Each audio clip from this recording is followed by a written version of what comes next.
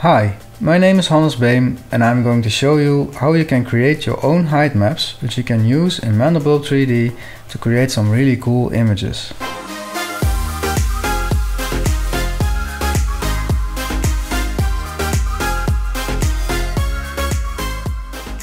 The programs we are going to use are Mandelbulb 3D of course, which is a free program.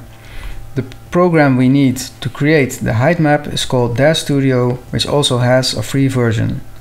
Unfortunately, I couldn't find a free version of a program to uh, do a function called HDR toning. So we are going to use uh, Photoshop to do the H HDR toning effect. First, we open up DAZ Studio and you will get this welcoming window and just click OK. It'll probably start in the perspective view and we will need to change this perspective view to front view and make sure that smooth shading is selected. Now we want to import the model we use for the height map. I found my model on Google I searched for free space object space OBJ and I've got these three interesting sites to download free models from. I chose the free3d.com and found this great looking Iron Man model which you can uh, download and you'll get it in a zipped file. I unzipped this file with WinRAR and it got into a folder called Iron Man and when you open up this folder you'll find three files and the file we'll need is the object file we're going to import this file into the studio by clicking on file and choosing import. You go to the folder that contains the object file and open the file. In the object import options window you just click accept. Now I would like to change the position so I click on this uh, tool and click on the model then to change the position we need to uh, click on the green arrow that says translate on Y. Of course that's the Y axis. Now you click and drag to uh, lower the object. I can't go any further so I'm going to click on this window and change the position a bit more from here. I'm going to back go back to this viewport and with the mouse scroll wheel you can zoom in a bit more so I get mostly the head and shoulder part now I want to render this image as a height map and to do that we need to go to the editor tab and choose the render engine called NVIDIA iRay. Then we need to go to advanced. In the advanced tab, this has to say NVIDIA iRay as well. Uh, we don't have to change a lot here. You can uh, choose your hardware options.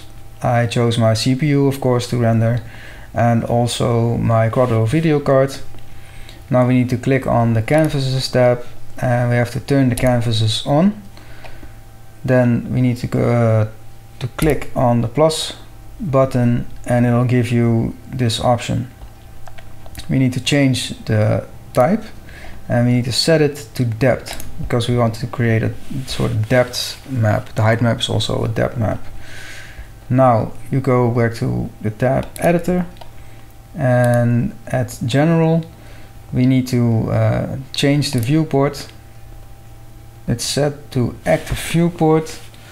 Ah, that's okay.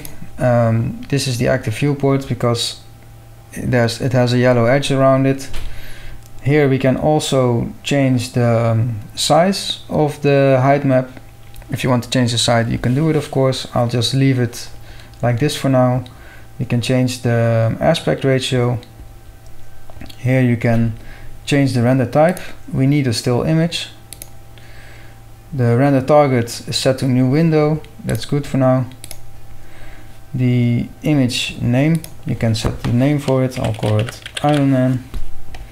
And you need to set the image path where you want to render the file to. I'll render it straight to my Mandelbulb 3D maps folder. auto headlamp um, we have no lights in the scene so we are going to use the light that's on the, the camera of the 3D program and just leave it at when no scene lights which means that if there are no lights in the scene it'll just use the light of the camera. The render mode is something we also need to change. Set it to interactive. Photoreal is more important if you are um, rendering a, a, 3D model which look to which has to look photorealistic that's not an issue right now. So we'll just choose interactive. Then this option appeared canvases and we need to make sure that it's set to canvas 1 and that's the canvas we just selected at the advanced tab. So now we can render the image. Just click on the render button right here. It'll take some time hopefully not a lot. And then it'll just give you a white image which seems strange and but it's it's the file we need. This is uh, this is a good thing. It's called Iron Man because I just named it Iron Man. You can change it here if you want to. And it's still set to the um, to the maps folder so that's good. If it's not we can change it by clicking on these uh, dots in the button. For now we just save it. It says the image already exists because I did this before so it's okay we'll override it now that it's overwritten we can go into Photoshop. We do we click on file open. We're going to uh, need the um, folder that contains the, um, the just rendered file and that's Iron Man underscore canvases. We open up this canvas depth file and it still gives you this um, white image. And we need to click on image adjustments HDR toning. It'll ask you to flatten the image. That's okay. And now we have the um, outlook of Iron Man but it's not a depth map yet. It's not a height map yet. To change this we need to change method and you have to set method to equalize histogram. And this looks more like the height map we'll need of course. So we click OK. Now we have this. We have to change the um, mode of the image. We have to set it to 16 bits channel. If you are dissatisfied with the result you can change these settings to your liking or you can revert the method to equalize histogram and now we can save it as a JPEG file. And we'll place it in the M3 maps folder. We need to give it a number. I'll give it the number 4000 and save. Just leave these settings and click OK. Quality 12 is the max so that's good to make things a little bit easier for this tutorial, I found this uh, really interesting guy called uh, Matze 2001 and he created this really cool image called Return of Head. And he was also kind enough to share his parameters so we can learn from this.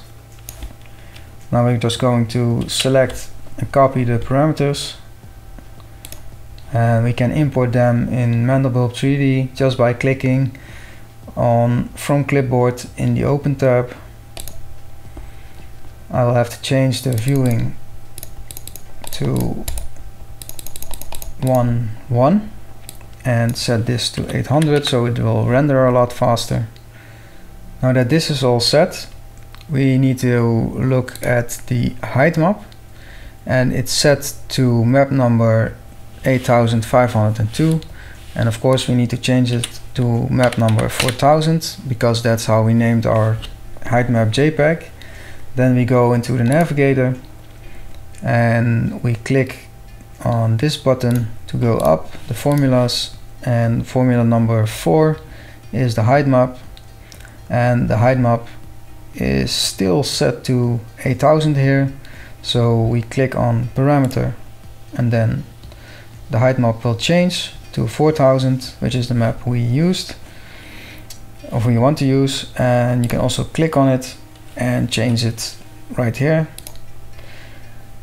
To make this look the way you want there are two important options you can change. You can change the age offset which moves the fractal in and around Iron Man and the another important parameter is age scale. When you change this you will change the scale of our object on a certain axis and it also changes the fractal. But overall it changes the the look of the image. And you can just continue until you find a satisfying result. And you can move the camera around a little bit of course zoom in and zoom out then you get an image you, you like and then you click on view to main close this and click on cal calculate 3D to see the end result. If this video is helpful to you, please consider donating some money for my girlfriend. She is battling two types of cancer and she needs to pay the medical treatments herself. All donating options are in the description below the video.